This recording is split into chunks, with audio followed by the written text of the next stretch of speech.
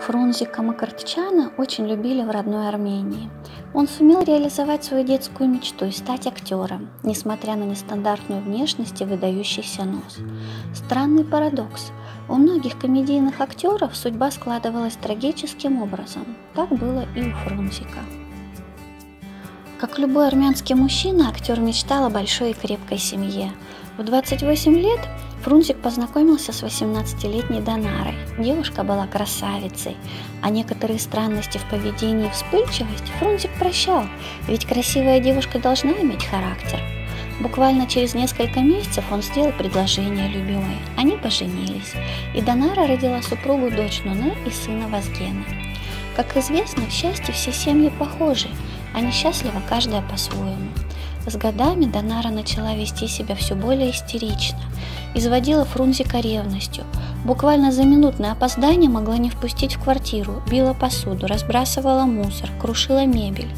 Друзья и раньше ему говорили о странностях ее поведения. Вначале Фрунзик отмахивался от них, но после семи лет ада он решился показать 33-летнюю супругу специалистам. Диагноз супруги шокировал. У Донары обнаружили психическое расстройство, причем в тяжелой форме.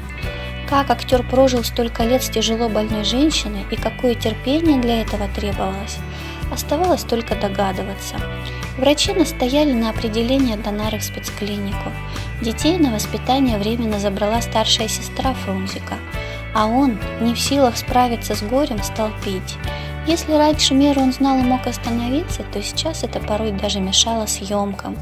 Периодически ложился в клинику, очищался, оздоравливался.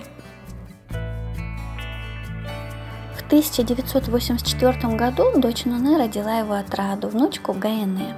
Фрунзик очень радовался этому событию, да и очень долго живший в одиночестве актер сам познакомился с молодой Тамарой Аганесян. Ему было 54, ей 29. Но красавица тоже влюбилась в актера, казалось бы, жить да радоваться. Но пришла новая беда. Поведении 13-летнего сына Вазгена стали проявляться такие же странности, как у Донары. Врачи не могли пока поставить точный диагноз, но предполагали, что сын унаследовал болезнь матери. Это сломало Фрунзика. Он стал снова пить.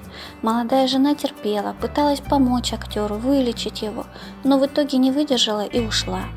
Фрунзик остался один на один с больным сыном.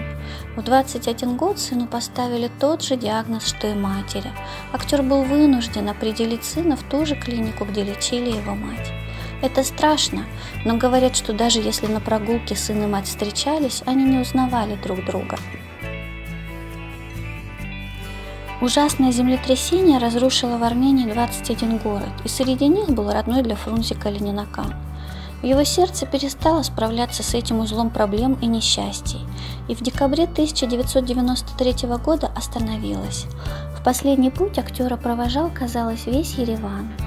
После ухода Фрунзика его дочь и сын переживут его лишь на несколько лет. Дочь уйдет от рака, сын от цирроза.